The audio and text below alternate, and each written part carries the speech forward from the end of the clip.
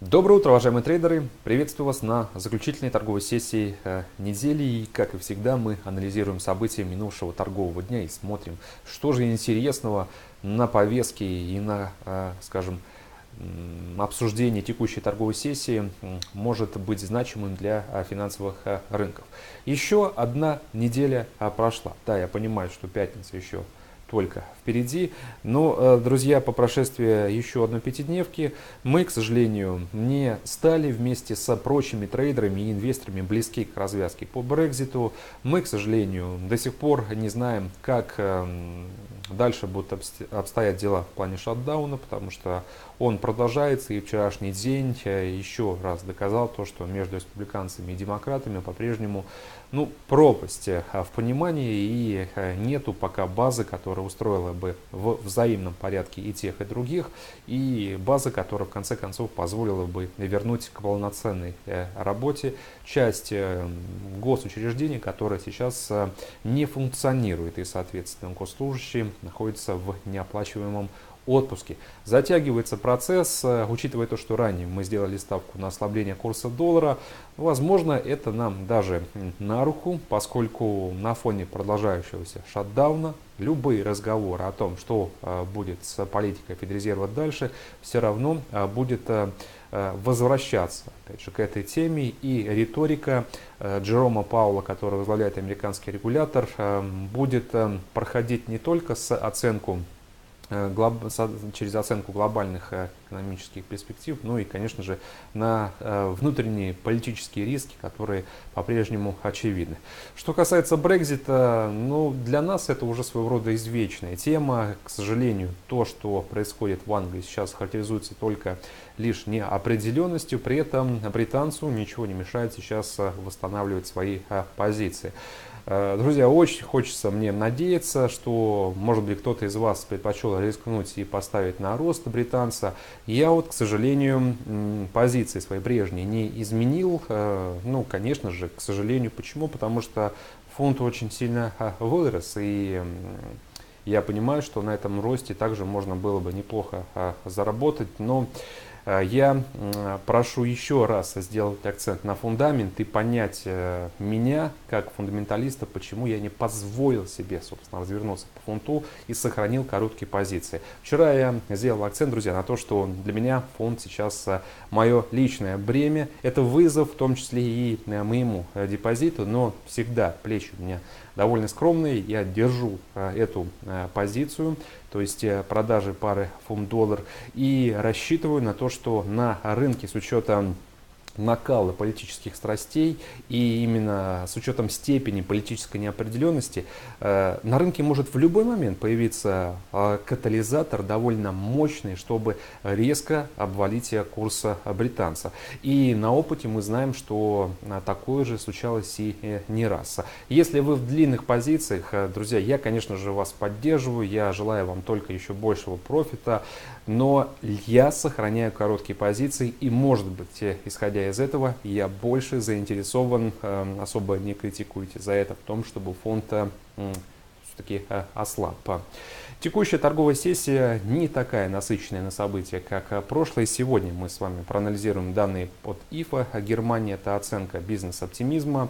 Учитывая то, что вчера были пересмотрены прогнозы экономического роста Германии на а, этот год, я думаю, что если каким-то чудом сегодня мы увидим а, оценку бизнес-оптимизма на более-менее нормальных уровнях, можно смело говорить, друзья, то, что следующий раз, через три недели, когда мы будем анализировать снова этот релиз, данные будут очень плохими. Ну и с другой стороны, ИФ нас не очень-то интересует. У нас есть более объективная оценка, это оценка института IZU. Мы с ней уже столкнулись в начале этой недели и помним, что цифры там, конечно же, далеко не радужные, что соответствует тому негативу, который сложился как частично в рамках Эм, локомотива валютного блока немецкой экономики, так и негатива, связанного с ухудшением внешней экономической конъюнктуры. Поэтому статистика, я даже в принципе и сегодня ожидаю, что релиз вряд ли поддержит э, настроение участников рынка через э, непонятные и не, непрогнозируемые, неожидаемые, на мой взгляд, даже невозможные хорошие цифры от ИФа. И замыкать день э, будет отчет Baker Hughes по количеству нефтяных э, вышек, собственно, в США в 21.00 поздним вечером. Традиционно мы уже две недели подряд видим, как этот отчет напрямую влияет на то, что происходит на рынке нефти, потому что тут же этот релиз начинает интерпретироваться с точки зрения будущей активности американских производителей. И поспорить с этой логикой очень э, трудно, поэтому сегодня мы, конечно же, за цифрами посмотрим. Напоминаю, друзья, то, что в прошлый раз был зафиксирован было зафиксировано снижение третью неделю подряд. Недельный спад оказался самым значительным, больше, чем на 20 платформ. Э, общее количество сократилось самым значительным с января 2016 года. И, э, в принципе, это легло в основу того, что сокращение количества нефтяных вышек скажется на активности американских производителей и, в конце концов, приведет к менее агрессивным темпам роста нефтедобычи. И США уже, возможно, не будут такой очевидной и страшной угрозой для баланса всего рынка черного а, а, золота. Ну, в данном случае и неплохо, что у нас такие цифры, потому что мы по-прежнему руководствуемся длинными позициями по нефтянке. Бренд, кстати, у нас растет, уже 60 почти 2 доллара за баррель, и это хорошо. Мы ждем с вами 65, там будем готовы полностью либо частично фиксироваться. Ну, посмотрим, как обстоят, будут обстоять дела на этой планке, потому что фон становится все более и более интересным. И вот с некоторых пор, э, буквально с вчерашней торговой сессии, мы активно с вами отрабатываем э, вопрос санкций США против э, Венесуэлы. И я думаю, что очевидно сейчас не нужно спорить с тем, что этот фактор уже дисконтируется в курсе нефтянки, способствует ее росту, росту котировок бренда и WTI. Мы это отрабатываем, используем, зарабатываем на этом, потому что это соответствует нашим с вами э, ожиданиями. Э, что касается прочего, скажем, фундамента, который, на мой взгляд, сейчас второстепенен, но о нем также стоит говорить. Данные по запасам нефти США, друзья, э, корреляция с статистикой от Американского института нефти в этот раз выдержалась. Накануне Американский институт нефти сообщил о том, что запасы выросли там Э, на 6,6 миллиона. Официальные данные указали на то, что запасы скакнули почти на 8 миллионов. Это все следствие замедления активности нефтеперерабатывающих заводов, сокращения экспорта, увеличения импорта. И э, сейчас, э, друзья, трейдеры, которые, опять же, ссылаются, ориентируются на данные по запасам, начинают больше исходить из того, что мы на пороге очередного сезона технического обслуживания, который приведет к реверсу вот этих ожиданий того, что будет э, с запасом. Если раньше мы делали ставку на сезонный спрос и получали, в принципе, и видели данные, э, которые нам были необходимы, когда запасы э, снижали. Сейчас вследствие сезонно-технического обслуживания начнется он, по-моему, уже меньше, чем через месяц. Эм, скорее всего, нам придется смириться с тем, что у нас э, будет э, новый э, тренд из этих релизов, тренд, который эм, уже будет фиксировать увеличение запасов. Ну, как вы видите, друзья, этот фундамент явно отошел на второй план, потому что сейчас все следят за тем, когда США все-таки анонсируют эти санкции. С некоторых пор из-за самой настоящей революции, которая произошла в Венесуэле, из, скажем, сместились акценты лидерства. Трамп а, поддерживает а, не Мадуро, а Гуайда. В частности, Мадуро, можно сказать, э, своего рода вне закона, он не легитимен, поэтому страна, которая поддерживает данный, данного лидера, в принципе, оказывается вынужденной столкнуться с риском санкций со стороны Э, э, США. Соответственно, друзья, этот э, фундамент быстро с рынка не уйдет. Я думаю, то, что мы будем весь день сегодня следить и наблюдать, как эта новость будет оказывать поддержку котировкам нефти. Уверен, то, что ничего не изменится и на следующей неделе. Важно, чтобы мы все-таки добрались до 65 долларов за баррель, потому что там наша цель. Я надеюсь, то, что мы ее в итоге сделаем. Евро против доллара. Европейская валюта – герой фундаментальный вчерашнего дня, потому что Европейский центральный банк провел очередное заседание. Э, и вот сегодня утром буквально читал статью на Блумберге о том, что есть э, все основания говорить э, о том, что вчерашняя риторика Драги захлопнула дверь для возможности повысить процентные ставки – концу этого года, в рамках 2019 года. Я очень э, хочу, друзья, чтобы вы все-таки правильно оценили эм, то, что вчера случилось, то, что вчера было сказано, э, правильно поработали с этим новостным фоном, адекватно оценили перспективы изменения монетарной политики и в конце концов пришли к выводу о том, что до конца этого года, в 2019 году, Европейский центральный банк э, ну, вряд ли что-то изменит в плане ужесточения режима и нормализации э, денежно-кредитной э, политики. Ставки остались на прежнем уровне, рефинансирование 0%, ставка по депозитам минус 0,4%, очень долго уже на неизменных уровнях.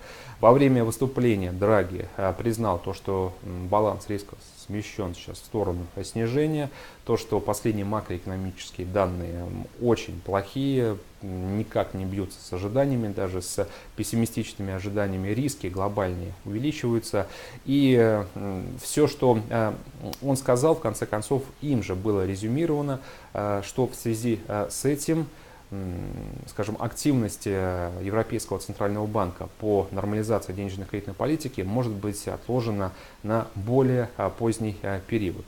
Ну и, а, конечно же, Драги признал, еще раз сделал акцент на то, что всему виной вот эти геополитические риски, и Брекзит, и торговое противостояние США и Китая. И если эти вопросы не будут разрешены вот в ближайшие месяцы, то, соответственно, Европейский центральный банк не просто сохранит э, политику мягкой, но и, возможно, даже рассмотрит э, варианты более активных действий по экономическому стимулированию. Это, опять же, возвращаю вас не только к э, возобновлению операции ТЛТРО, возможно, уже середины этого года, но и, кто знает, друзья, может быть, за всеми прочими вариантами дальнейших действий где-то там скрывается возможность даже Э, дополнительного снижения а, процентных ставок. Это также упускать из вида нельзя. День для евро был э, вчера волатильным. В целом европейская валюта остается под давлением. Десерт э, такого негатива был связан с прогнозом ВВП Германии на этот год, который был пересмотрен практически в два раза, друзья, с 1,8 до единицы. Вы помните, по-моему, еще несколько недель назад я лично попробовал предположить, какие темпы роста Германии нас ожидают в этом году. И сделал акцент на то, что это в лучшем случае единица. И вот э, сейчас эм, э, сами официальные ведомства э, статистически ссылаются на то, что это как раз тот уровень Э, за а, которым сейчас нужно а, следить, будучи реалистами, понимая, что с учетом такой конъюнктуры э, более лучших цифр экономика Германии показать не сможет. Поэтому по евро, друзья, мы получили эм, достаточно много сигналов того, что политика будет мягкой. Э, Европейский центральный банк признал, что ситуация ухудшается и на его риторику оказывает влияние и глобальные риски. Это важные заявления. Я думаю, что на следующем заседании риторика станет еще более мягкой. Соответственно, будем держать короткие позиции, тем более, что они сейчас, э, ну, как никогда оправданы. Цель по евро-доллару 1.10, 1.11. Доллар иена держится в районе 110, 109.74 сейчас котировки. Возможно, поддержку доллара вчера оказала статистика по заявкам на пособие по безработице 199 тысяч. Э, минимальное значение с 1969 года. Прошлые, на прошлой неделе мы видели цифры э, чуть выше 212 тысяч. PMI в производственном секторе 54,9 с 53,8. Э, также на рынок пришла новость о том, что шатдаун продолжается, поскольку в Сенате не удалось договориться о прекращении скажем, не работы ряда госучреждений. И я допускаю, что если бы не комментарий Мнучина о том, что США и Китай уже достигли серьезного прогресса, сделка по-прежнему актуальна, она состоится, точнее не сделка, а еще один этап переговоров в конце этого месяца. И я уже, по-моему, на прошлом брифинге или на позапрошлом говорил о том, что есть даже рыночная позиция, что вот на январской встрече будут сделаны серьезные шаги, направленные на преодоление торгового конфликта. Ну, если рынок взбодрился, пока мы видим, что доллар, э, судя по всему, Э, больше оптимистичен по дальнейшему развитию событий. Я, друзья, все равно пока что сохраняю короткие позиции, потому что что-то подсказывает мне, что январская встреча в конце концов ни к чему не приведет. А шатдаун продолжится, и это заставит американский регулятор э, снова напомнить рынку о своей позиции неготовности к многократному повышению процентной э, ставки.